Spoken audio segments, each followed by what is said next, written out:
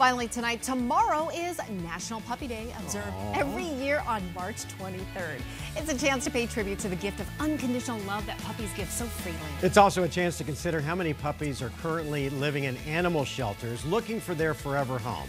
So maybe if you think about you can, maybe you can adopt one. Look at that phrase.